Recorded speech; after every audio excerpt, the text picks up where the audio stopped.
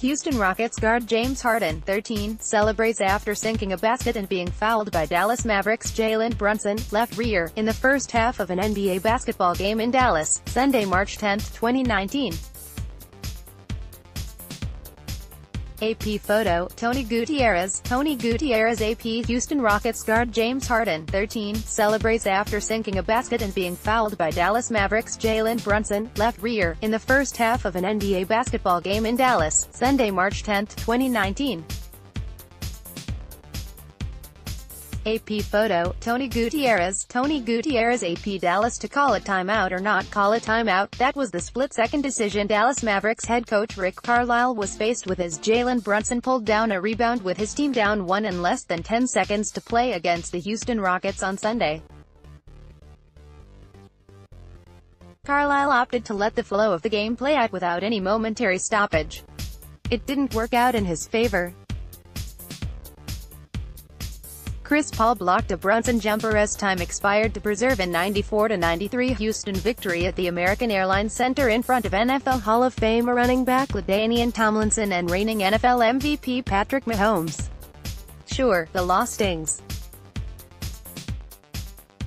But the hope for Carlisle is that the trust he showed in his two rookies, Luka Doncic fed Brunson on the baseline, to figure it out on the fly will pay off in confidence down the road. This is one of those decisions in the NBA when you have to make the choice of call the timeout and let the other team get all their best defenders in and set their defense, or play basketball. Carlisle said. Look, Brunson and Doncic were really good all night long with attacking and making the right pass. I would do the same thing again. Doncic finished one assist shy of a triple-double with a team-high 19 points to go along with a career-high 15 rebounds, 9 assists, 2 steals and 2 blocks. Brunson had 18 points, 7 rebounds, and 4 assists. Reigning MVP James Harden was held to 16 points below his NBA-leading 36.6 points per game average as he wrestled with foul trouble throughout. He had also been nursing a sore right wrist, which he recently had x-rays taken on after he fell on it during Friday's win against the 76ers. The x-rays came back negative. Harden picked up his fourth foul with 15.3 seconds left in the first half.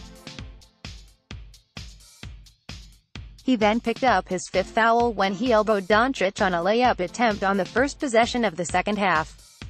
He returned with three minutes left in the quarter with the Rockets up 73-68 and helped stretch the lead to 81-72 with six quick points.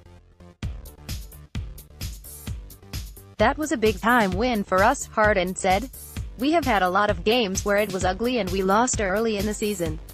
We played well defensively. Offensively, we couldn't get it going. It feels good to win on the defensive end, Houston head coach Mike D'Antoni said Dallas' ability to trap hard and impacted his outing. They were good at it, he said. They are long and athletic. I brought James back with three minutes in the third and he played the rest of the way. I should have given him more of a break than that. I think he got a little tired, they were trapping and he got a little tired toward the end. But we had to do what we had to do. Eric Gordon led all scorers with 26, including five three-pointers. Clint Capela added 17 points and 12 rebounds for the Rockets, 41 to 25, who are 16 of 52 from beyond the arc. Score was knotted at 89 with under 4 minutes to play before the Rockets, winners of 8 straight, scored 5 unanswered points to go up 94 It was a 7.3 second difference and I decided not to call it timeout. Carlisle said, I always feel that in those situations, if you have playmakers you trust, you have a better chance that you'll get an open look. It didn't work out. In hindsight I should have called it timeout. I trust Luka and Brunson and the other guys in there to make a play. Brunson appreciated the trust Carlisle showed in he and Doncic. It just shows that coach trusts us, and Luka and obviously we want the ball in Luka's hands and he made an unselfish play. I just have to knock it down. The ball kind of got hit with one second left.